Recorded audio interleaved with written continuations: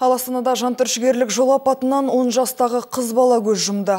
Апатқа кінәлі рөлге мас күйінде отырған инкассатор көлігінің жүргізушісі екен.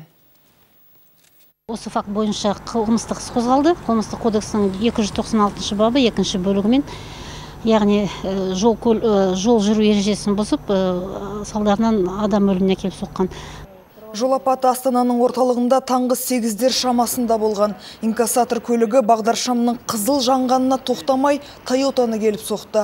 Салдарынан көліктің алдында отырған 10 жастағы қыз тілге келместен көз жұмды. Ал рөлде отырған анасы сұмдық апаттан кейін есін жия алмай жатыр. Полицейлер инкассатор көлігінің қай банкке тиесілі екенін айтпай отыр. Рөлге ішіп отырып, адам өлтірген жүргізуші қамауға алынды. Жалпы инкассатор көліктері жол ережесін жиі бұзады дейді жүргізушілер. Ғаламторға жаңа түскен мына кадрлерде банкке тиесілі газель көлігі жаяу жүргіншілер жолымен жүйткіп кетіп барады.